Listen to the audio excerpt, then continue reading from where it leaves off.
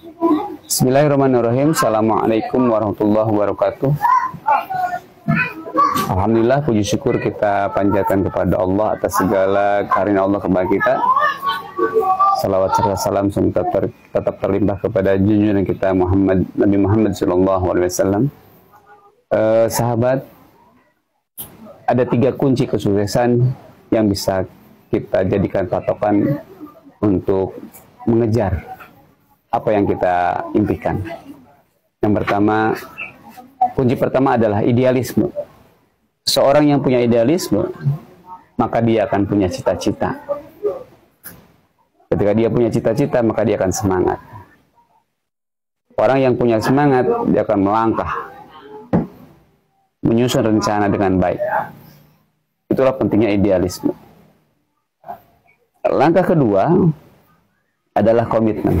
Ketika dia sudah punya cita-cita, dia punya rencana, maka dia punya komitmen. Rencana apa yang dia miliki, dia akan laksanakan dengan baik. Itu namanya komitmen. Berpegang teguh, memegang apa yang sudah dia impikan dan apa yang dia rencanakan. Itu namanya komitmen. Apa pun hambatan dan rintangannya akan dia selalu hadapi sehingga dia terus melangkah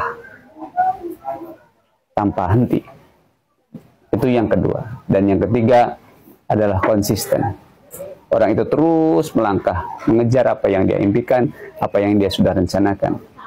Dia mengerjakan dengan penuh perjuangan. Tahap demi tahap dia selesaikan dengan baik.